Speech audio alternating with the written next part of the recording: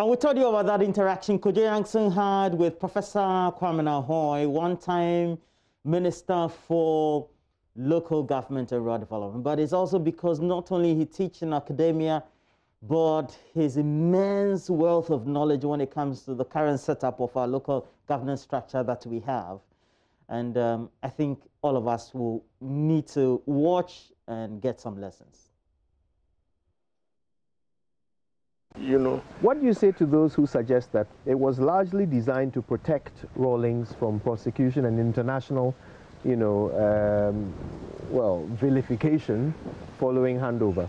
No, there was there's only an aspect that that criticism is made in relation that's in relation to the indemnity clauses in the transitional provisions of the constitution and there's an explanation for that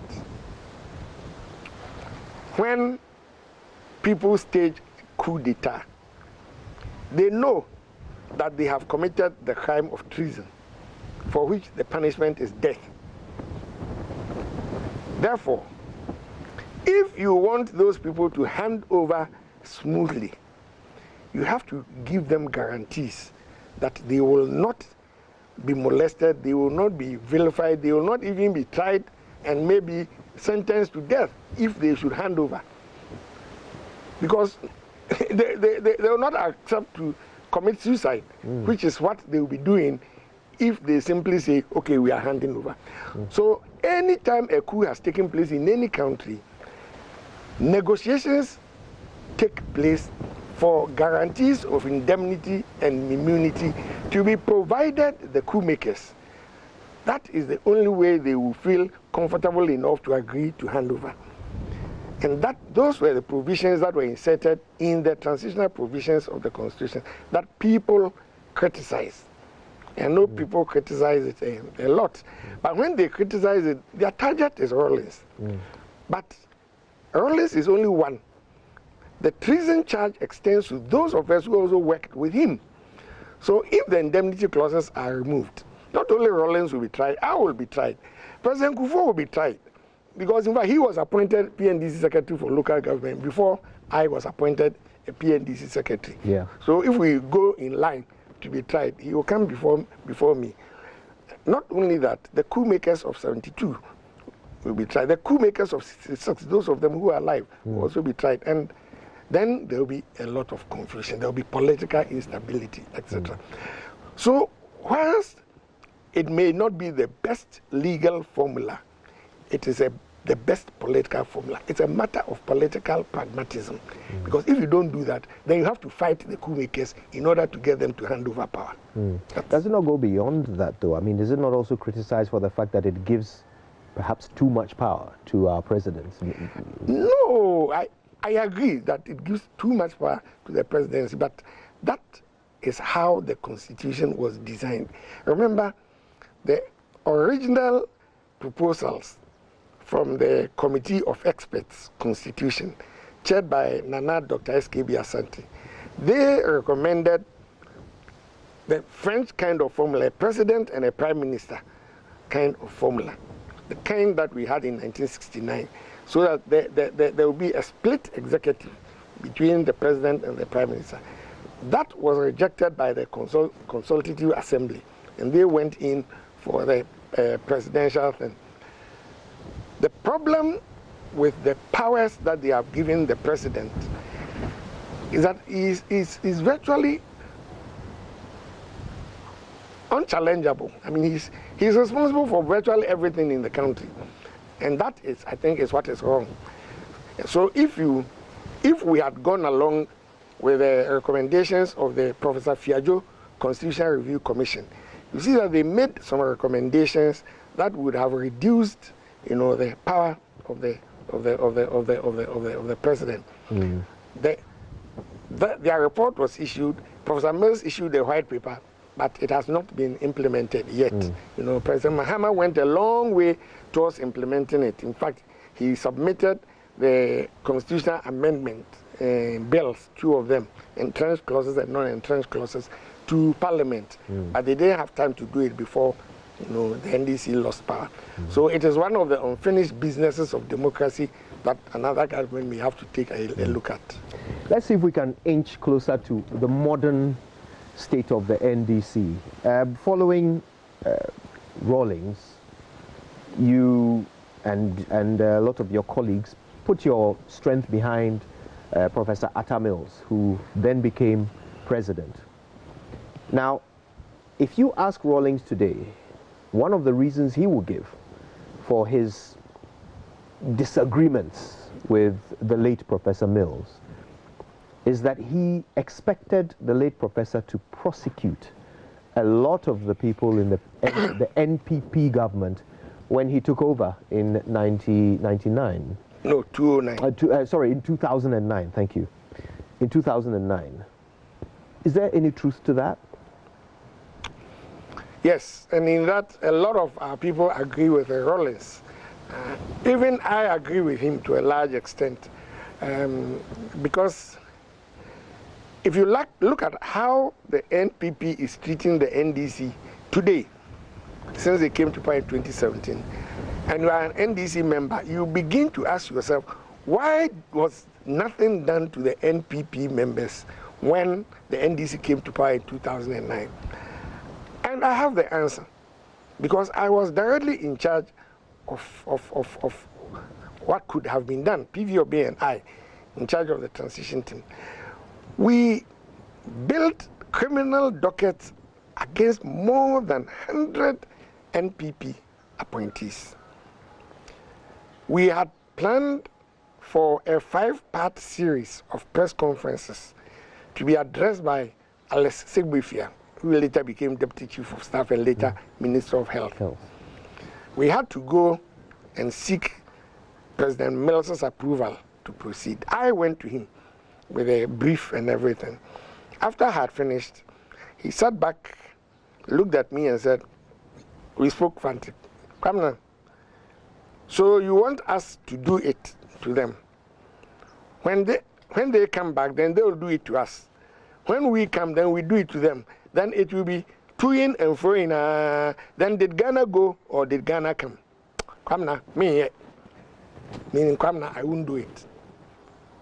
That is how the NPP got away with quote and unquote murder. Today they get up and say that if they had done anything wrong, we would have prosecuted them. They don't know that we had a president who said he was an asomdwe and that he was prepared to forgive to forget the past in order that we move forward. Many people in the NDC were very, very disappointed. And their disappointment is reflected in Rawlings' anger with President Mills. That even if he had done a quarter of what we think a politician should, should have done, maybe, maybe the, today's reaction of the NPP would have been different. Mm. But because they got away with it, they think that it's business as usual, and so they can they can continue. But I must tell you, President Mills, you know, that's why some people say said that he he, he, he was he was not he was not born he was not a born politician. He had no business in politics because he didn't have that you know, cutting edge. You know, because in politics, you don't always have to be good. Mills was good, so he assumed that every human being was good. But in politics, there are very bad people. And when you encounter the bad people, you have to deal with them. But because he couldn't see how a human being could be bad, it was very difficult for him to deal with bad people. Hmm. Now, you threw your weight behind him. Um, but when he died, God rest his soul, did you throw your weight behind Mahama? Yes, indeed. In in President Mills's biography, which I which will be we will launch next year, which I wrote with Kokwenido, we will see exactly the role that we, we, uh, I played, and others also also also also played. Literally, we were the one who, you know, made it possible for the transition from Mills to Mahama to take place so so so so so so easily. Um, we had to do a lot of things to ensure that. Um, you may want to talk to the Speaker of Parliament at the time, Mrs. Justice, the lady, that was the name, something, and also the Chief Justice at the time, Mrs. Um, who, who left before Sophia Akuffo took over? Oh over. yes, um, uh, Wood. We are Georgina Yes. Wood. You know, we worked with them on the day that Mills died, you know, and we had to do a lot of work to make it possible for Mahama to be sworn in in the night of 24th of 24th July. So yes, we threw our weight behind him. Um, Do you think he was a good president? um, he could have been a good president, and he will be a good president from 2021 because I believe that he has learned some lessons from some of the mistakes that he made. You know, I think that the biggest mistake he made at the beginning of his presidency, not when he was finishing off President Mills' time, but at the beginning of his presidency, was to surround himself with people who were not core NDC members. You know, his special advisor or whatever was not, his secretary was not, his secretary to the cabinet was not, his, you know, so many of them. And, and so there was a divorce between the government and the party. And therefore, it was not very easy for the party's program to be implemented. To a large extent, it was a program of the bureaucracy that was being implemented and not the, and not the program of the, of the party. But I think halfway through, he realized the problem and so he changed course. And that's when he brought in Julius Debrah as his chief of staff. Um, he, he brought in um, uh, what was his name? The one, the deputy something at the AU now, Oh, um, Quartey. Yes. Yeah, as a secretary. I mean, he changed. His change is he changed his immediately because he realized the problem that had been that had been uh, created, and I think that since we came into position, he has been working with the party people very very closely, and that's why I think that he will be a very successful uh, president. But even in, the, in, in, in, know, in, in, in, his, in his presidency. I think that he did very well in terms of development, especially. His development ex- uh, agenda was uh, excellent, mm. but I think it was his handling of the party that created problems for him. the current ticket, John and Jane. there are those who say that this is really your your orchestration. no, it is not my orchestration. Uh, There's a pause Jane, there. no, no, it's because I've known Jane for a long time. Uh, we are actually age mates. We were both born in 1951. I'm only one month ahead of her. I was born in October. She was born in November. We entered secondary school together. We left together. I have known her for a long time. In 1996, I was the one who brought her from Cape Coast University to come and interview the, the President Rawlings on Radio Gold. We have been very close uh, together. But she was President Mahama's education minister. She was not my education minister. So if anybody should be a better judge of her as a politician, it should be Pre- President Mahama. It's not me. I think that it's, it was, it's, it's, it's, it, she's President Mahama's choice. Um, it is not time yet. Otherwise, I would reveal to you what I did and who my preferred choice was for the number two, for the run, uh, running mate position. It wasn't Jane. No, it wasn't Jane. I, but the moment she was announced, I accepted her because I know she's very good material, and we are also, you know, charting a new course. We are breaking the glass ceiling, as they as they as they say, and you can see the confusion that it has caused in the opposition, well, in the gov- government party camp, because uh, I think this was the last thing that they imagined would would happen. But I think that it is a brilliant ticket. Um, Nana is a lady of steel. You know, um, you don't run a big university like Coast University with all these professors, a medical school, a law faculty, a this and all of that. I mean, it takes guts to be able to, you know, manage an institution. It's not even an institution. It's a, it's a, it's a, it's a city. It's a secondary city because population of Cape Coast University is bigger than most of the secondary cities that we have in Ghana. So she has managerial acumen, and I think she has performed well, and she deserves it. Mm. It's a good ticket. I recommend it to Ghanaians. Mm. Now, this is how I like us to end. It has been believed for the longest time, and I said it at the beginning, that you are the shadow puppet master of the NDC. That in reality, The party is run from Church Street, where your offices are.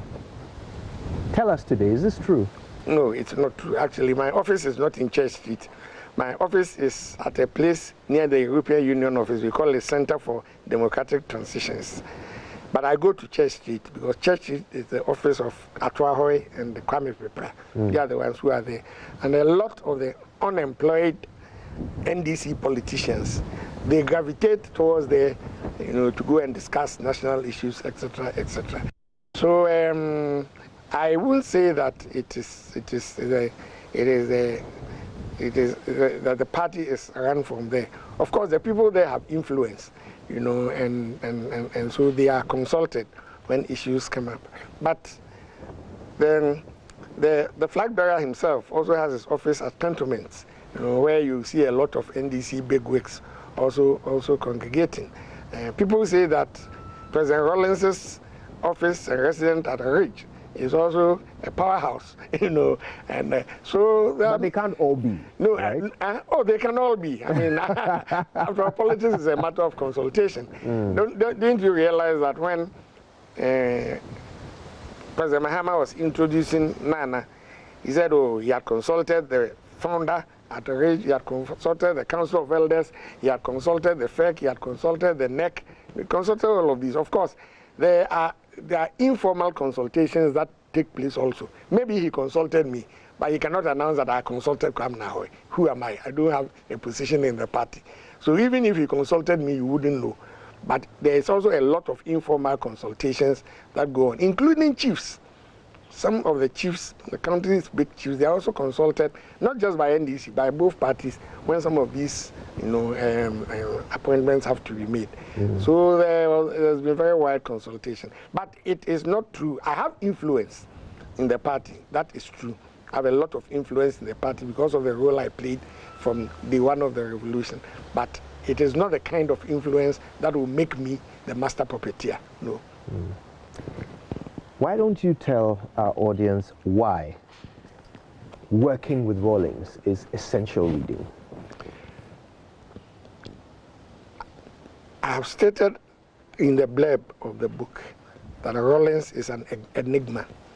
He is not the ordinary run of the mill leader or president. His style is different, his leadership is different. And therefore, when you have the opportunity to work with a personality like that, you gain experiences that are worth you know, following by others who will come after you. So for me, it was always important to me that I would document my experiences with Rawlings. Now, one of his character traits that I admired, and I've given about two examples in the book, for example, was his human relations. And the, the, the, the two examples, I don't know if we have time, I'll, oh, I'll summarize two of them. You know, when he did something that upset me and I resigned, I actually took my letter of resignation to him. I put my letter of resignation on the notice board. He didn't mind me. When I got home in the evening, my wife and the children, then they were young, I think eight, six, and four. They were in the most ebullient of moods. They came running towards me. They were happy. Why? They said, President Rawlings had sent word that the next day I should bring them to the castle. He wants to fly us around the country. so, the, of course, I, I, my family was happy. How could I kill their happiness by saying we are not going because I have resigned? So the next morning I took them he had this small 14-seater uh, Defender aircraft. He put us in it.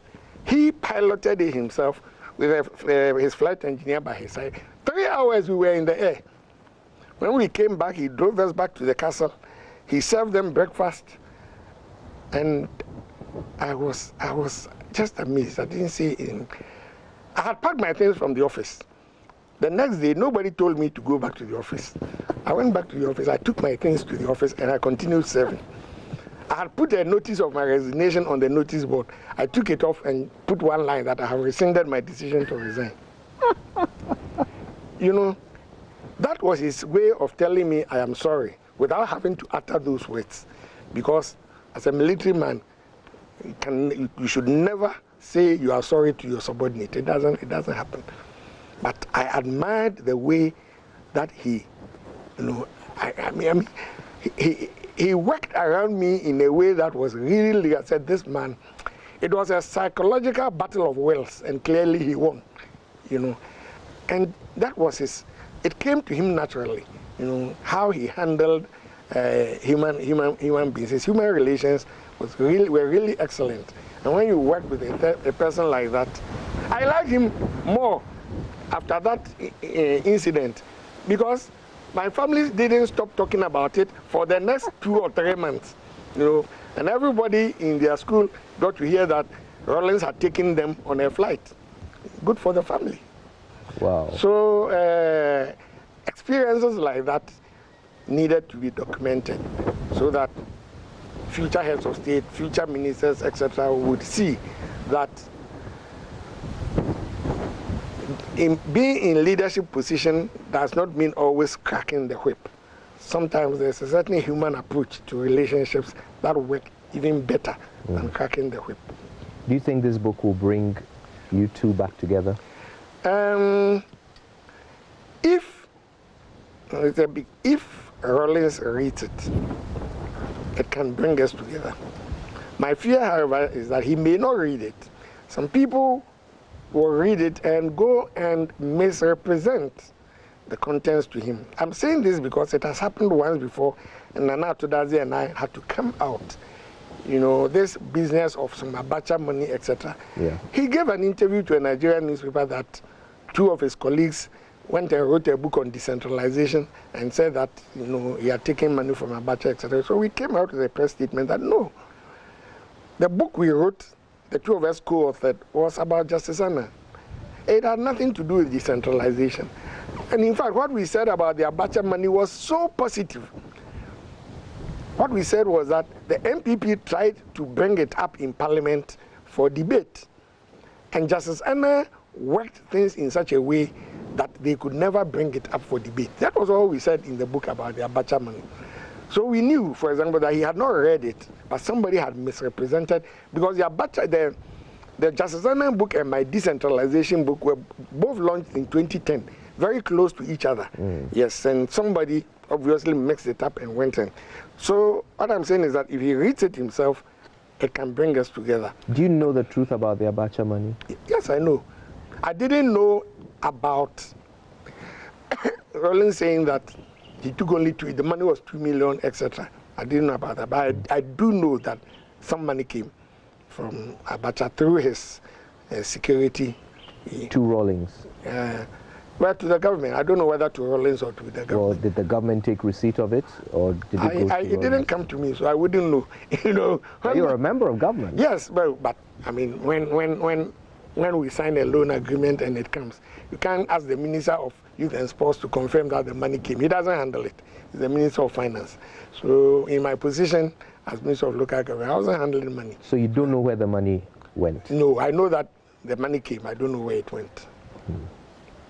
Professor Ahwoi, this has been fascinating. Uh, I wish we could go on uh, for longer. In fact, I wish you hadn't written this book in the year 2020 where COVID-19 exists because I would have loved to shake your hand. Yeah. But we'll save that for a better day, a, better year. Thank you so much. Can I just say something about where this can be purchased? Please do. After after after the launch. Yes. After the launch, you can get it Kingdom Bookshop Legon, EPP Bookshop Labadi, Bachona Total Filling Station, Citrus Bookshop ANC Mall, Kingdom Bookshop Osu, Vidya Bookshop Osu, Airport City Shell Filling Station, my own office, CDT, Ghana, is near the European Commission, European Union, Union office, opposite Aquinas Secondary School. Then EPP Bookshop, Legon. Then the publishers also sell it online, www.digibookspublishing.com. And then the Holiday Inn Hotel shop at the Airport City. When is the launch? Thursday. Thursday. Yes. We'll all be there. Okay. Thank, thank you very you so much. much. It's been a pleasure. And thank you all for coming. Thank you for watching.